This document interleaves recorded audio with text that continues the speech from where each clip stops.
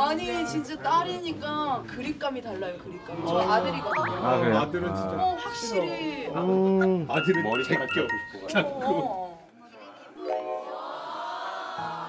얘 다섯 살 때 나랑 했었어. 아 진짜요? 눈참 많이 오네. 아영인 집이 어디야? 저쪽이요. 아 진짜? 잘 애기 그리고 분 냄새 난다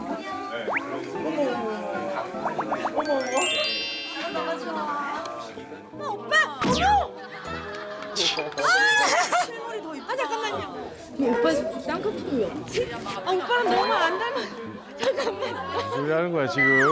오빠도 어렸을 때 이렇게 생겼었어. 완전 인형 같아 어떡해 어머 어머 교진이랑 잘 좀 해줘. 아니 너무 잘하셔가지고 네 재밌어요. 너무 재밌어요 진짜로? 네. 깜짝 놀랐어요 잡니다. 반갑습니다.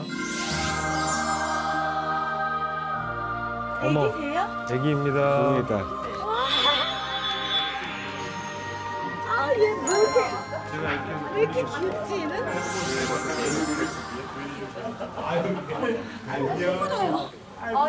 잘 걸어요. 콧 많이.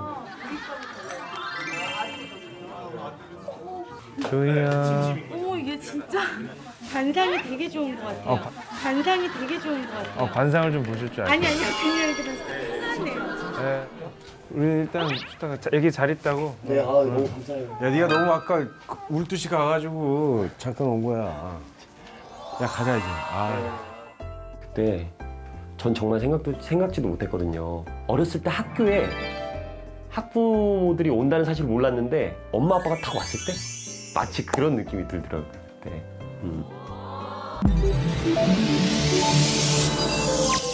KBS